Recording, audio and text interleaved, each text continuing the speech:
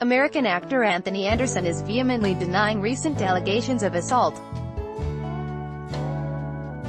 Known for his roles in Black-ish, Transformers and Me, Myself and Irene, Variety is reporting that the star is currently under criminal investigation by the Los Angeles Police Department following an allegation made by a woman who once catered an event for him.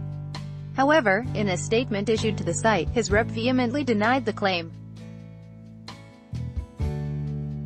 Advertisement. Continue reading below. It's unfortunate that anyone can file a police report whether it is true or false. The statement read, The authorities have not contacted Anthony or any of his representatives about this matter.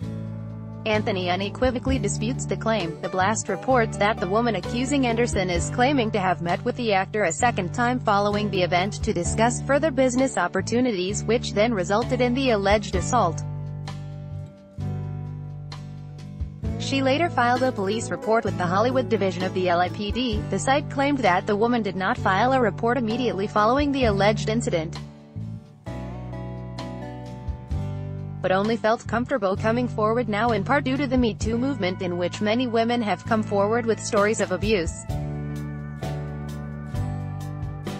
The LAPD confirmed the investigation to the site, noting, We have a crime report listing him as a suspect in a crime, and adding that it is currently an open investigation. Anderson recently received his fourth consecutive Emmy nomination for playing Andre Johnson on Black-ish, and it was also recently announced that he will be getting his own star on the Hollywood Walk of Fame.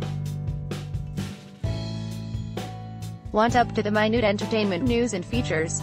Just hit like on our Digital Spy Facebook page and follow on our Digital Spy Instagram and Twitter account.